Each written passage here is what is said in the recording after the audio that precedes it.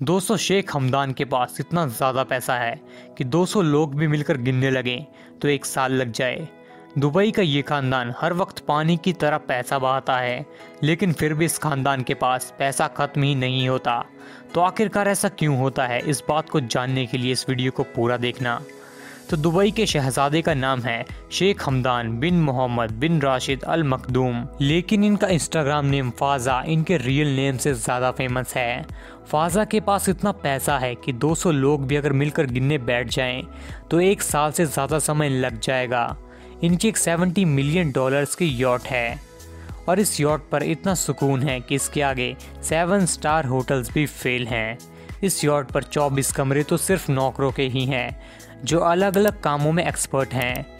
शेख हमदान इस यॉट को सिर्फ़ 10 से 15 लोगों की पार्टी के लिए ही इस्तेमाल करते हैं।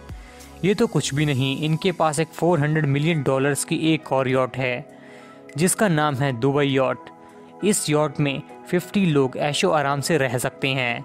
इस यॉट में नौकरों के लिए 90 कमरे हैं। जो इस 400 मिलियन डॉलर्स की यॉट का ख्याल रखते हैं। शेख हमदान के पास इसके अलावा ऐसी ही लग्जरी याट एक दो और भी है।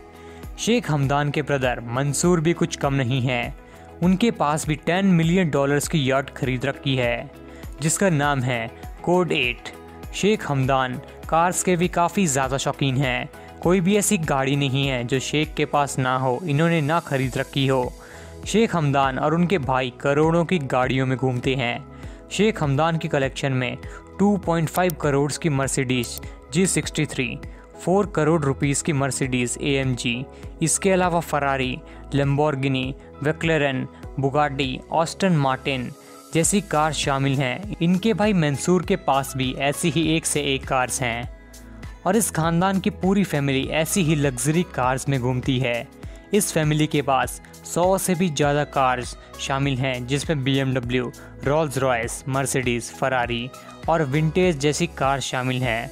और शेख हमदान गाड़ियों की अपग्रेड पर भी बेशुमार पैसा खर्च करते हैं। अपग्रेड का मतलब ये गाड़ियों के ऊपर 24 कैरेट्स गोल्ड लगवाते हैं और पूरी गाड़ी के ऊपर गोल्ड प्लेटिंग कितने की होती होगी, आप खुद ही सोच सकते हैं। और इनके पास 40 करोड़ की तो ऊँटनी ही है। शेख हमदान को एक बार एक ऊँटनी पसंद आई और उन्होंने उस ऊँटनी को 40 करोड़ रुपीस में ख़रीद लिया, जो कि इसकी कीमत से कई गुना ज़्यादा थी। दोस्तों, शेख हमदान की ये शोहरत आपको कैसी लगी? हमें नीचे कमेंट बॉक्स में कमेंट कर कर ज़रूर बताइएगा। और ऐसी ही वीडियोस देखने के लिए हमारे यूट्यूब चैनल को सब्सक्राइब कीजिएगा।